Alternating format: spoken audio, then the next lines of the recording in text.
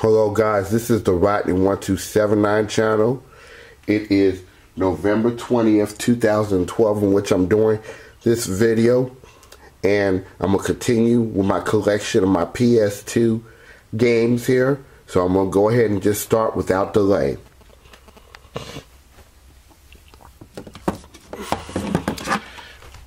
My next game is Pac-Man World 2. Now I have not played this game in a long while. Um, this game is uh, goes back to the 2000s when I brought this game. I rem remember buying this game at uh, Best Buy one time, but um, I have never beaten this game. But I got as far as finishing the level before the end of the game. So this is a decent game if you're a Pac-Man fan. Pac-Man World 2. And I'm going to try to speed this up here. Alright, this is uh, Slugfest 2003. Now this game I had about 9 years, it's almost 10 years that I had this game. But basically, you know, it's baseball with a lot of violence in it.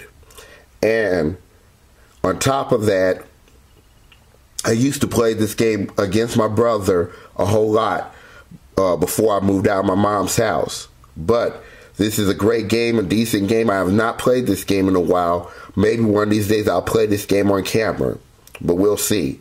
Slugfest 2003.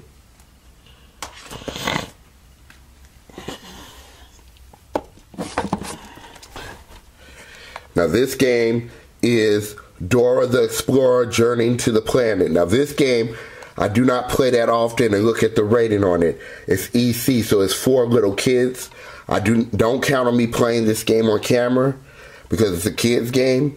But basically, this game is for educational purposes. It uh, teaches their the numbers, their colors, and their um, ABCs and stuff. And this is based off the Nick Jr. show Dora.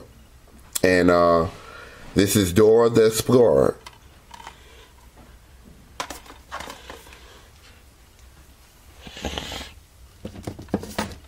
Okay, the next game I have is Monopoly Party. Now, I only played this game a couple of times um, because, I mean, this game, I like playing regular Monopoly, but the thing about this Monopoly game is everybody goes at the same time on one turn if you play Monopoly Party.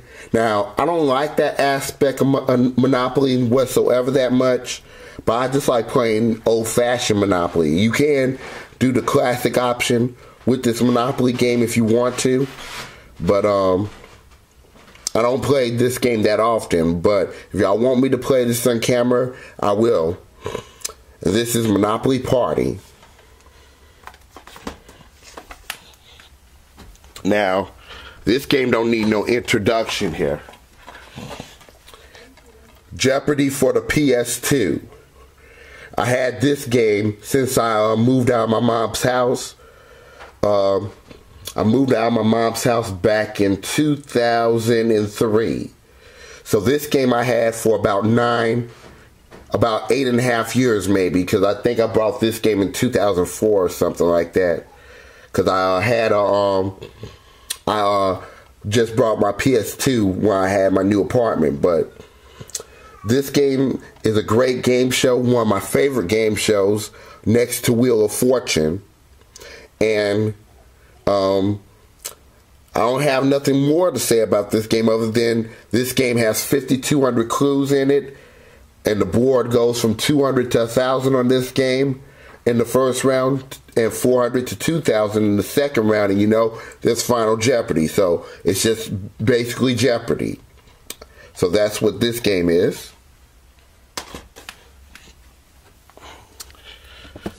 going through the list here now madden 2005 I, wish, I recently rebrought this game back after it was stolen but this is back in my collection again. I don't know if it works, and I don't know how many scratches there is on this game, but I can tell you this.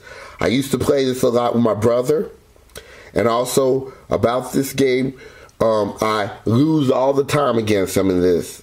I'm not good at sports games at all, but when I do play sports games, I just play it for the fun of it. And this is Madden 2005. Here's another game that don't need any introduction here.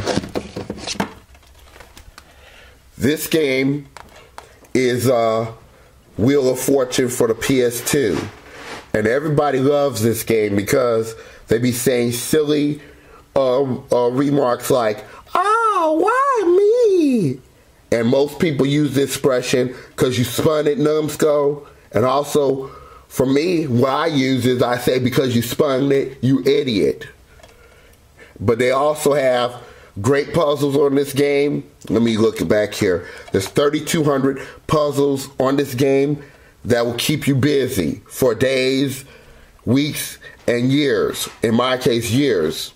And you know, as some of y'all know, I've been a wheel watcher for over 30 years. And this is a great game. Wheel of Fortune for the PS2. Another game that don't need no introduction. This is Are You Smarter Than a Fifth Grader for the PS2? Make the grade. Now, the only thing I'll explain about this game is this. This is based off of the Fox uh, version of Are You Smarter Than a Fifth Grader? It has, um, you have to uh, answer 10 questions to reach $500,000. And the final question, the 11th question, the last question is worth $1 million. Now, I've won the million dollars a few times while I played this game, but it's it can be challenging. It can be challenging sometimes, especially for me, because it's been a long time since I was in the fifth grade, over 23 years to be exact. But this is a great game. Are you smarter than a fifth grader? Another game that I don't that does not need introduction. This is a fam this is Family Feud for the PS2.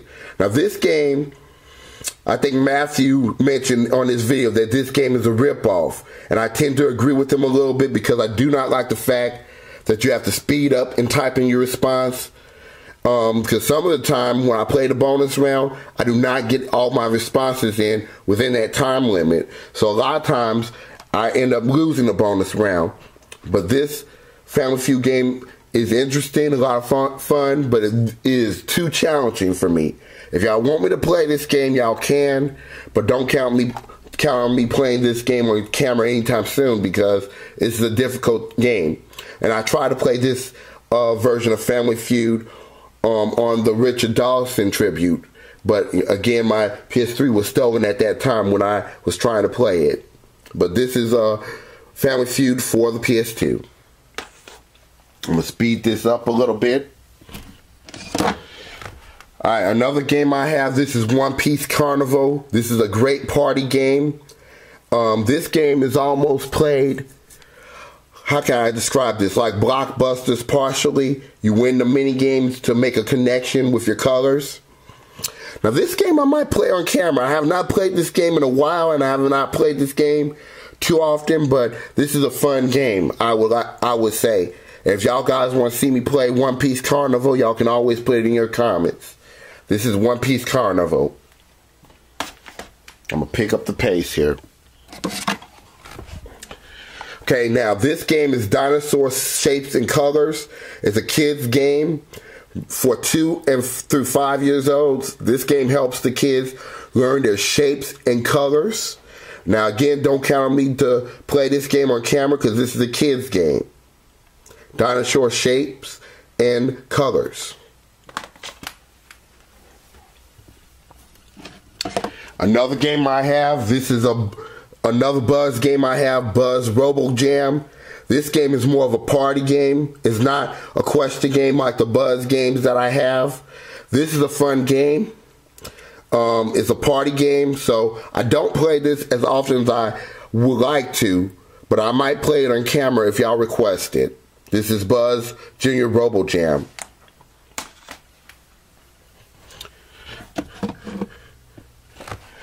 My other Buzz game, this is Buzz Hollywood quiz. And this game um, is the questions about movies and things about Hollywood and stuff. So this is Buzz, the Hollywood quiz. I have about five Buzz games, by the way.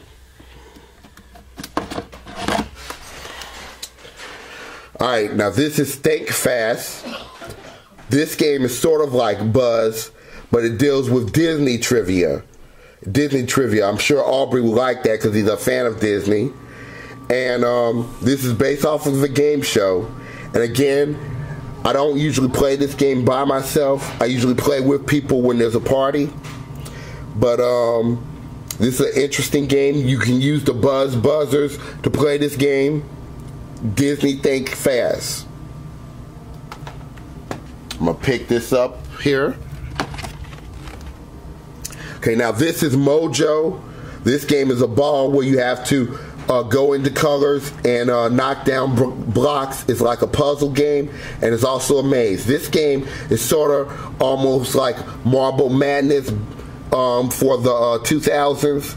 Now, I know many of you who remember Marble Madness. Marble Madness was a game that really sucked. It only had six levels, and the game only lasted about maybe 30 minutes or so, maybe less than that. And this is Mojo for the uh, PS2. Oops, I dropped my games. I'll fix that later. Alright. Four more games here. Hot Shot Golf 3. This is another game I have not played in a while. I intend on playing this on camera eventually. And this game you is self-explanatory. You got all the um, PS2 characters on here. One character that is on here is John Daly, the golfer himself. And um, this is a fun, entertaining game. And um, I've not played this in a while, but I might play it on camera if y'all request it. Hot Shot Golf for the PS2. Got three more games left. Okay, puzzle challenge for and crosswords. Now this game contains a lot of the puzzles that you can think of, and it has a lot of crossword puzzles on here. I've not played this game in a while, but I might play this one on camera. That's if y'all request it. Puzzle challenge and crosswords. I have two more games left, and then I'll be done. I'm gonna speed this along so I can finish on time. Okay, this one don't need no introduction. This is Trivia Pursuit Unhinged, and this game is basic Trivia Pursuit with a twist. They have a lot of funny questions on there that you don't think about every day, and this one is very entertaining. On here, it has a lot of the famous people who ask the questions on here. And this is a T-rated game, so it's not appropriate for kids under 13. Trivia Pursuit Unhinged. And the last game is my favorite. Well, not out of the mix, but it's one of my favorite games. This is the Bible game. And the Bible game is sort of like Press Your Luck mixed with um, um, mixed with um, Pac-Man Fever. It's also a party game. And the idea of this game is you have to uh, play on a gigantic game board, and you have to stop the board. Um, and when you stop the board, you get points behind the board. Uh, you get points on the board, as well as a mini game. And I might play this on camera. And then this has a lot of biblical questions on here on this game. I'm and it's clear that I'm actually saved because y'all see um, that I answer a lot of those uh, uh, Old Testament and New Testament questions right on Jeopardy. So I read the Bible a lot. The Bible game for the PS2. All right, guys. Well, that is the end of my game collection for the PS2. And this is Rodney1279 signing off saying be safe, be careful, and take care, everybody. Goodbye.